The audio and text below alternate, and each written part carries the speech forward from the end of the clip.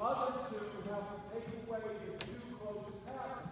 So if I go there and do some trap, okay, that's fine. There's no rules of who goes where. You're gonna take away that pass, you're gonna take away that pass, and we're gonna come in here and we're gonna close the trap. People say, do you enter, you know, do you, I don't want kids looking where my feet are, okay, because the ball's already left the trap at that point.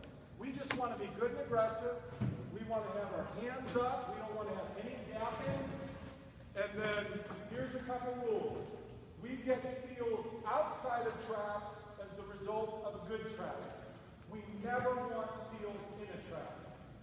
Unless they just hand it to you. We don't want your hands in here.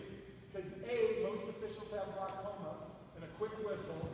I thought you were putting me in camp or clinic hell today when I got here, and I thought I was going to the officials clinic. I thought that was, I saw those officials, I thought Durden got me back, finally. Uh, no, but um, we don't hands in there. We want them high. We want good. And then the second thing is, as soon as the ball comes out of here, you got to sprint out of the track. Now, you're there, there. Their hands are up. Okay, get your hands up. Okay, now just it off their hands.